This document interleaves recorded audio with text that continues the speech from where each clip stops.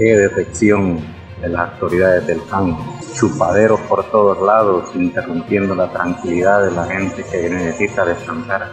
Es una lástima que estén pasando estas cosas con tanto de que pasan en la noche por culpa de las mismas autoridades.